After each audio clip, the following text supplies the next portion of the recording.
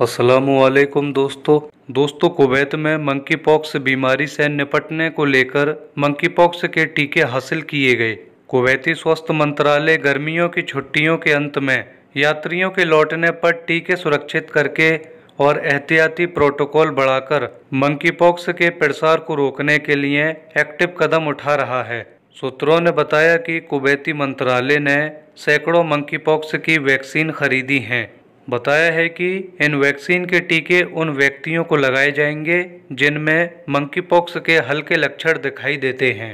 Kuwait में चाहे प्रवासी हो या सिटीजन्स सभी को गाइडलाइन जारी की गई है।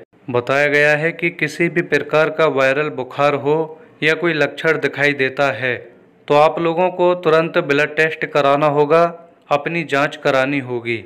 अगर आपकी बॉडी में ज़रा भी मंकी पॉक्स का वायरस पाया जाता है तो आप लोगों को ये वैक्सीन लगवाना लाजमी है। मंत्रालय ने कहा कि ये गाइडलाइन जल्द ही एयरपोर्ट पर भी लागू होगी।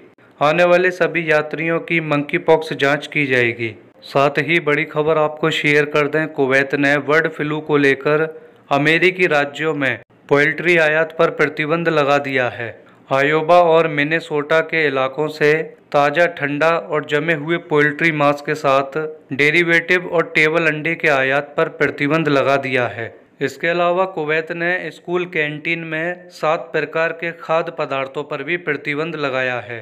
मंत्रालय ने स्कूल कैफेटेरिया के लोगों को स्वस्थ रखने के लिए खाने के कई तरह के खाद्य उत्पादों को मंजूरी दी है।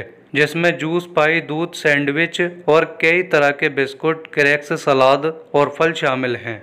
साथ ही उन्होंने स्कूल कैफेटेरिया में सात खाद्य पदार्थों की बिक्री पर प्रतिबंध लगाया है।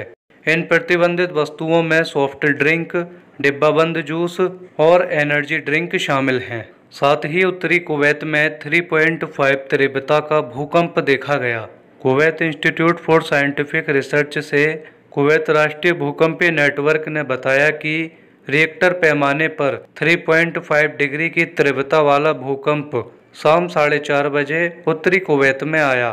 भूकंपीय एजेंसी ने बताया कि भूकंप की गहराई 6 किलोमीटर थी तथा आज शाम साढ़े छः बजे उसी स्थान पर और उसी गहराई पर 2.2 तीव्रता का एक और झटका आया, जो कि काफ़ी खतरनाक देखा गया। दोस्तों, कुवैत में जिन इलाकों में भूकंप आए हुए हैं, कुवैत भूकंपीय एजेंसी उन इलाकों में नज़र बनाई हुई है। कुवैती एजेंसियाँ एक्टिव हैं ताकि कोई बड़ा हादसा भूकंप से ना हो जाए।